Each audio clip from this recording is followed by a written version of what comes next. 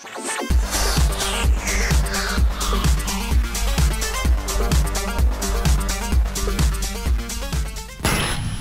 Charlie Grimm will die after a prop malfunction during the high school's presentation of The Gallows. What's going on? There's no tape in here. Someone died in the school?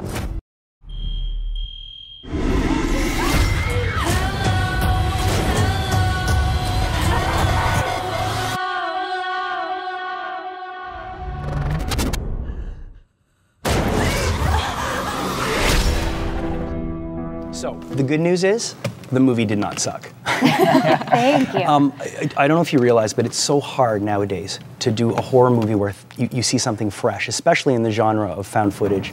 And you guys pulled it off. Congratulations to us. Congratulations to you guys. What's, what I really found um, uh, particularly endearing was that you know it, it's also not easy to play a high school kid, but you guys all played your characters extremely well. I hated you in the movie, so that was good. Which was great. It affected me for like two years after too. I was a huge so jerk obnoxious. to everyone. Because you're not like that in real life. How much, what I want to know is this is this is the first biggie for for the four of you. How does it feel um, to get positive reaction from people? Is it exciting? I think, yeah, it's so it's so exciting just because this is kind of all of our first experience um, doing something this big, and to have it have such good reactions from everybody. The validation is crazy. Yeah. Like it just feels so good. We put so much work into everything, like every single part of this, and to have someone come up and be like, "You guys nailed it. You nailed this one." We're just like, It's "No, surreal. shut Yeah. up." Why would you say that? Pfeifer, it was my idea, all right? Pfeifer, please. You listen, Piper. Pfeifer, it was my idea. Stop talking for a second. You've done enough. This play is an embarrassment. Shut up! You're going to embarrass everybody. This needs to stop.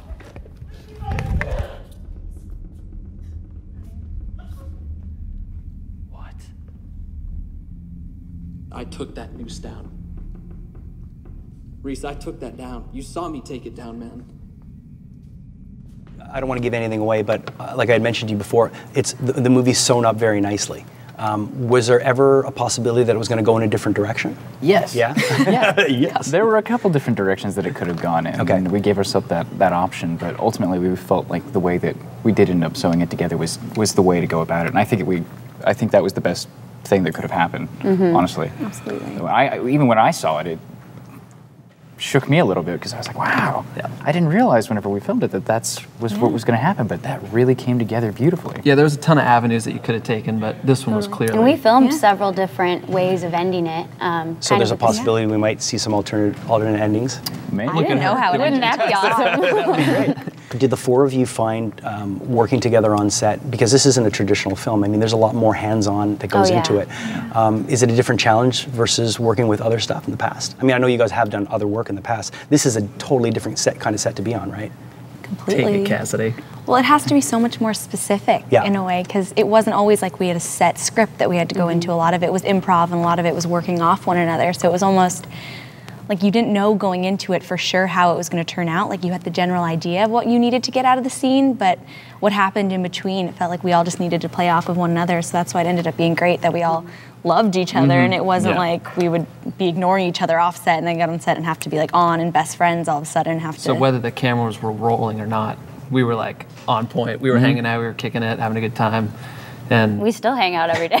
Well, I gotta say, Four it- years later, we're all still best friends. it's exciting because I feel like I'm watching four fresh faces in Hollywood that are on their way up. So congratulations. thank, you so much. Thank you. I appreciate it. Good. Cool. Thanks, guys. Thank you so much.